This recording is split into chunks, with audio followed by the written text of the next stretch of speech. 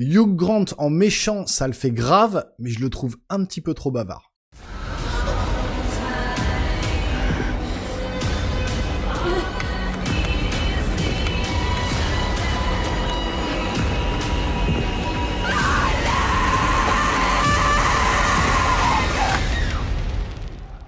A24 a une boîte de production qui sort toujours son épingle du jeu quand il s'agit de produire des films et de les mettre au cinéma ou à la télé, en streaming, où vous voulez. C'est vrai qu'il y a ces derniers temps pas mal de bons films qui sont sortis de cette boîte de prod. Et en allant voir Hérétique avec Hugh Grant dans le rôle principal, je me suis dit, ouais, franchement, A24, ça va être bon, on va passer un bon moment, bon petit film d'horreur, etc. Mais euh, force est de constater qu'en sortant de la salle, eh ben, je suis un peu circonspect. Je sais pas trop quoi penser de ce film. J'ai pas détesté, mais je l'ai pas trouvé non plus complètement fou. Euh, au niveau de l'histoire, en tout cas, puisque c'est vrai que voir Hugh Grant sous les traits d'un méchant, bah, c'est ce qui revient le plus dans les critiques, en se disant, mais euh, Hugh Grant, c'est plutôt des comédies d'amour, romantiques, etc. Il a pas le profil pour jouer ce genre de film. Eh ben, si, justement, pour le coup, ça fonctionne très très bien, ce rôle de le mec un peu bizarre, un peu psychopathe, un petit peu euh, voilà antagoniste du film dans une, ambiance un peu glauque, un peu dark comme ça, et eh ben ça marche bien, ça marche bien pour lui au niveau de son jeu d'acteur. Ça fonctionne super bien justement ce côté un petit peu gentleman anglais, on va dire, qui euh, euh, voilà va vous donner des frissons juste par sa façon de parler et de vous exposer certaines choses dans le film. Et eh ben ça marche bien. Mais le problème, c'est que ils veulent trop en faire. De mon avis, c'est ce que je trouve en fait. Moi, je suis euh, vachement film d'horreur, vous le savez, le cinéma de genre comme ça, euh, horreur, thriller. Alors là, on est plus sur un thriller horrifique qu'un vrai film d'horreur parce que ça fait pas vraiment peur. En fait, euh, voilà, il n'y a pas de jump scare, il n'y a pas de truc qui va vous faire sursauter tout le long du film. On va plus être sur un thriller horrifique, on va dire, voilà, où en fait, on va suivre deux jeunes femmes, donc deux jeunes femmes mormones hein, qui veulent prêcher la bonne parole mormone, hein, voilà, dans, leur religion, et qui vont sonner aux portes des différents habitants pour justement essayer de les convertir, essayer de les ramener euh, euh, dans leur religion. Et elles vont tomber sur bah, Hugh Grant, voilà, euh, Monsieur Reese, je crois, qui va leur ouvrir la porte d'une maison un peu isolée, et elles vont se retrouver dans cette maison, enfermées avec lui. Hein, les portes vont se fermer, vont se verrouiller, et va commencer justement euh, un jeu de dialogue en fait entre les personnages, entre Hugh Grant et ces deux jeunes actrices qui jouent très bien la comédie aussi. Pour le coup, elles sont vraiment, euh, on les connaissait pas. Enfin moi je les connaissais pas, je les avais jamais vues dans d'autres films. Et elles jouent très bien la comédie aussi. Et je trouve qu'elles ont un jeu très posé. Et, euh, et, donc du coup, on va suivre ces jeunes filles qui vont parler avec donc Hugh Grant, qui va essayer en fait de prêcher la bonne parole entre guillemets et justement essayer de démonter un petit peu, euh, face à ces jeunes femmes, euh, toute la religion. Voilà, il, va essayer de montrer, en fait, que euh, la religion auquel elle croit, mais également le christianisme, le judaïsme et l'islam, en fait, sont des religions créées par l'homme et qui n'ont pas lieu d'être. donc il va essayer de démonter un petit peu tout ce côté biblique, tout ce côté religion, il va essayer un petit peu de voilà de casser les codes et euh, face à deux femmes, deux jeunes femmes qui sont euh, vraiment très croyantes, il va essayer de démontrer en fait tout le long du film que ces religions-là n'ont pas lieu d'être et n'ont pas lieu d'exister et que euh, c'est pas à ça qu'il faut croire.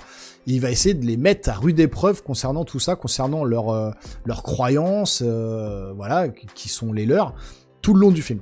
Mais le problème du film, c'est qu'il va s'empêtrer justement, pour moi, dans un film beaucoup trop bavard, beaucoup trop bavard. Même si euh, les, acteurs sont, sont bien menés par le réalisateur, enfin bien euh, dirigés par le réalisateur, que la mise en scène est vraiment bien faite, que il y a des plans de caméra très originaux avec voilà des, caméras qui tournent à 360 degrés autour des autour des personnages comme ça, sans lâcher leur regard. On voit qu'elles sont inquiètes, angoissées.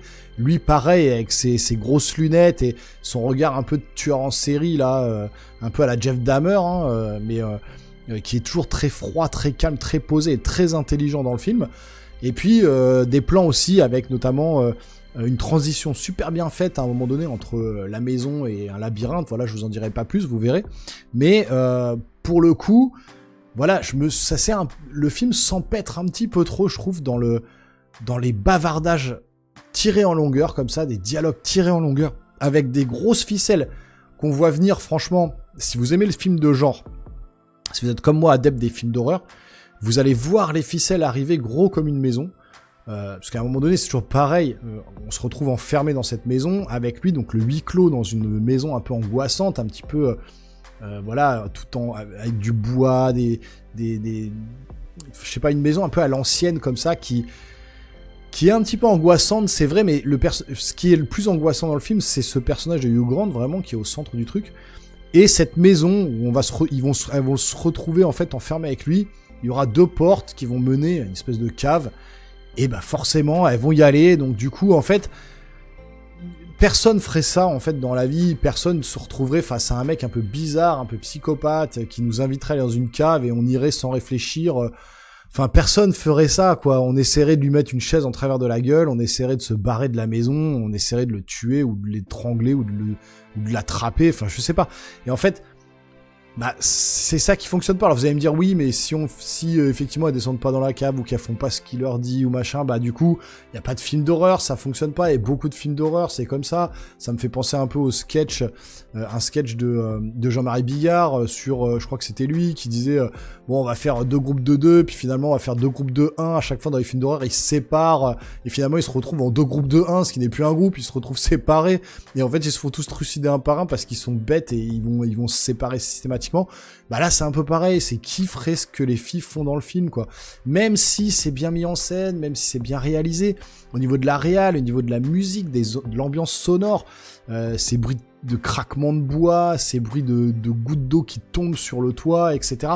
C'est très bien maîtrisé, il y a des choses bien maîtrisées dans le film, mais je trouve qu'il finit en fait par être... Euh, comment dire trop facile quoi. Enfin pour moi vraiment j'ai trouvé la, j'ai trouvé le, le, le, début du film, enfin la première moitié du film, elle est bavarde. Ça fait que de parler, parler. On sait pas trop où il veut en venir.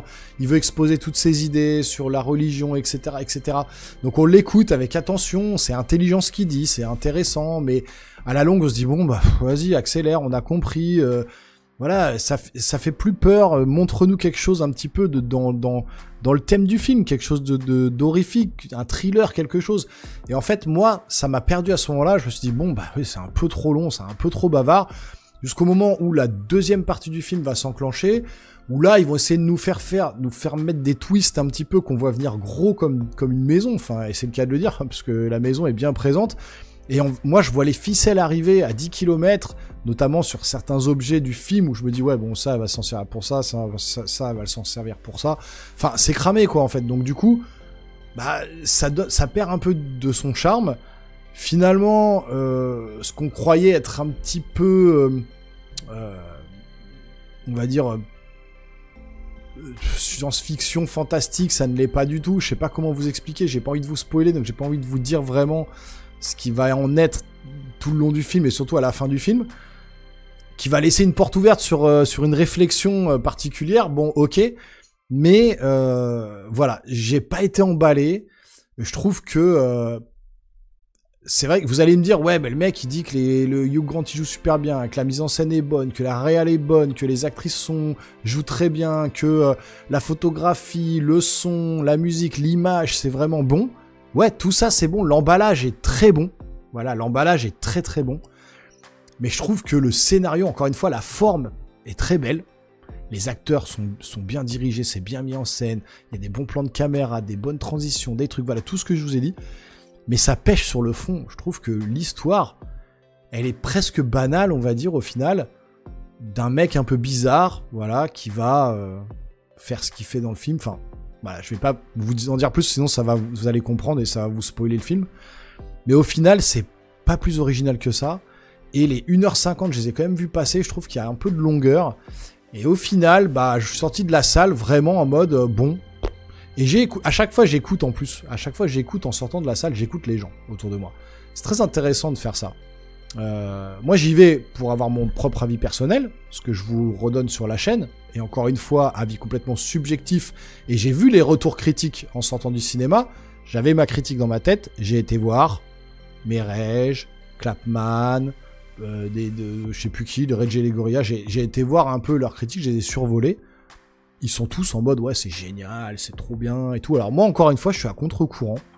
Alors, je sais pas si c'est moi qui deviens un vieux con ou qui suis extrêmement exigeant en termes de film maintenant, mais euh, je suis pas de leur avis, j'ai pas trouvé ça exceptionnel. Je trouve qu'il y a vraiment une forme très très bonne dans le film. Encore une fois, réalisation, etc. Je trouve que c'est très bien, euh, très bien fait. Mais je trouve que ça pêche au niveau du scénario. Moi, je me suis ennuyé à partir du milieu du film. J'ai compris un peu ce qui allait se passer.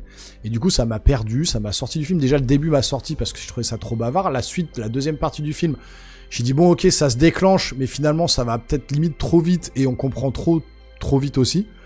Donc du coup on se dit bon bah ok euh, bah voilà c'est juste ça et en fait je suis sorti de la salle en me disant tout ça pour ça voilà je me suis dit tout ça pour ça tout ce bavardage toutes ces explications tout toute cette théologie comme ça sur la religion euh, tout ça pour ça je me suis dit ok bon et en sortant je vous dis voilà j'ai écouté les gens et ils étaient ils étaient un peu tous comme moi en me disant ah ouais bon bah tout ça pour ça ok euh, rien d'exceptionnel. Euh, bon, j'ai entendu des gens un peu souffler. Donc les gens étaient pas convaincus. Hein. Ils étaient pas à fond, à fond dans le film. Ils étaient pas convaincus de, ce qui a été apporté, de ce qui a été raconté. Donc voilà. Écoutez, moi je suis un peu ressorti sur les mêmes euh, a priori, les mêmes sensations. Tout ça pour ça, voilà. J'aurais pu mettre d'ailleurs en titre tout ça pour ça, mais c'est trop bavard surtout.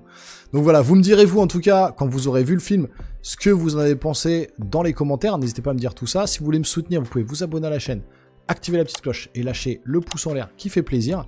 Et nous les geeks, on se voit très rapidement sur une prochaine vidéo. Portez-vous bien surtout. Ciao ciao